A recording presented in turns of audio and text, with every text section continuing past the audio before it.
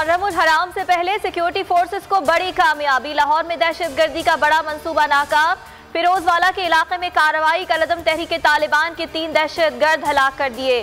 C T D तर्जुमान के मुताबिक दहशत गर्द, फौज, पुलिस, हसास तनसीबात और फिरका वाराना कार्रवाइयों की मनसूबाबंदी कर रहे थे। दहशत गर्द अफगान शहरी है। कब्जे से खुदकुश जैकेट, तीन दस्ती बम और दीगर असलहा बरामद।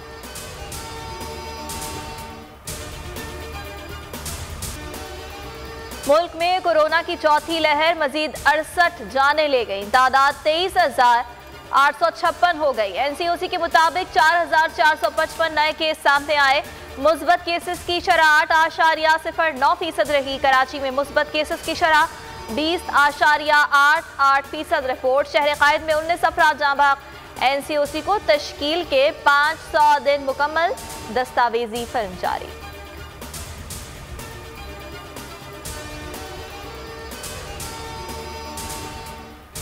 सिंध में लॉकडाउन खत्म होगा या नहीं? हतमी फैसला आज होगा। स्कूल्स खुलने या ना खुलने से मुतालिक भी ऐलान मुतव आउटडोर डाइनिंग खोलने, शादी की तकरीबात खुली जगह पर करने की इजाज़त पर भी गौर किया जाएगा। एनसीओसी का कल से कराची समेत सिंध भर में लॉकडाउन ख़त्म करने का फैसला। कारोबारी अवकात रात आठ बजे तक होंगे। आउटडोर डाइनिंग और शादी की तकरीब खुली जगह करने की इजाज़त। कराची समेत तेरह शहरों में एसओपीज पर सख्ती से अमल दरामद कराया जाएगा।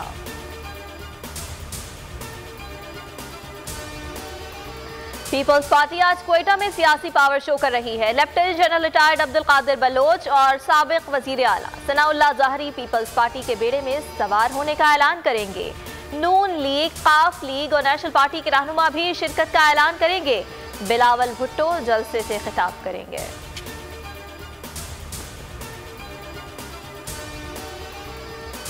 जीबीए हल्का चार, नगर के जिमनी इंतखाब का दंगल, वोटिंग जारी। तहरीक इंसाफ के आगा बेहश्ती पीपल्स पार्टी के जावेद हुसैन और इस्लामी तहरीक के अयूब वज़ीर में कांटे का मुकाबला मुतव तेईस हज़ार चार सौ सत्तानवे वोटर्स हक राय दही इस्तेमाल कर रहे हैं।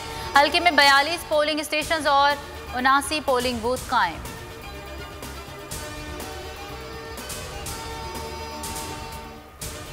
मेजर तुफैल मोहम्मद शहीद निशान हैदर का तिरसठवां योम शहादत। आबाई इलाके बूरेवाला में पुरवकार तकरीब। Army chief general Qamar Javed Bajwa की जानब से फूलों का नजराना पेश किया गया। खबर पर फातिहा खानी D G I S P R ने ट्वीट में लिखा, मेजर तुफैल मोहम्मद शहीद ने जरत और बहादुरी से नई दास्तान रकम की। बतौर सिपाही हर कीमत पर मिशन मुकम्मल किया।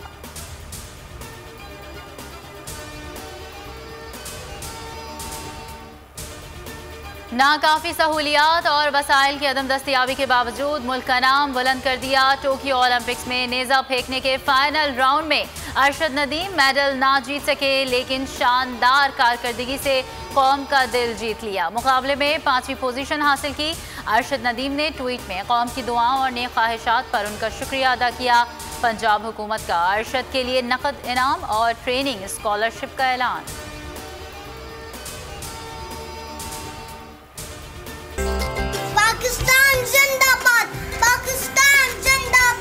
We are thankful to Allah that He gave us such a beautiful homeland and we promise, and we promise Him that we will save it. और मुल्क भर में आज़ादी का जश्न शायान शान तरीके से मनाने की तैयारियाँ अहले वतन इस साल भी मनाएँगे भरपूर आज़ादी का जश्न बोल के संग लगाए नारा जिंदाबाद पाकिस्तान का स्क्रीन पर दिए गए नंबर पर हमें अपना वीडियो पैगाम भेजें और बोल के साथ आज़ादी के जश्न में शामिल हो जाएँ।